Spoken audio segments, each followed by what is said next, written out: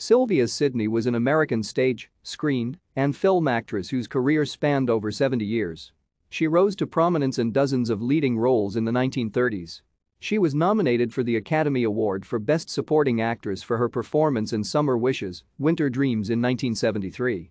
She later gained attention for her role as Juno, a case worker in the afterlife, in Tim Burton's 1988 film Beetlejuice, for which she won a Saturn Award as Best Supporting Actress.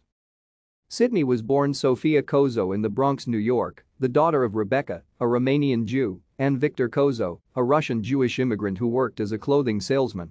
Her parents divorced by 1915 and she was adopted by her stepfather Sigmund Sidney, a dentist. Her mother became a dressmaker and renamed herself Beatrice Sidney.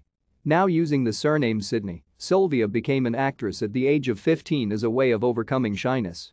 As a student of the Theatre Guild School for Acting, she was praised by theatre critics for her performances. Thank you for watching. Like and subscribe if you would like to view more of our videos. Have a nice day.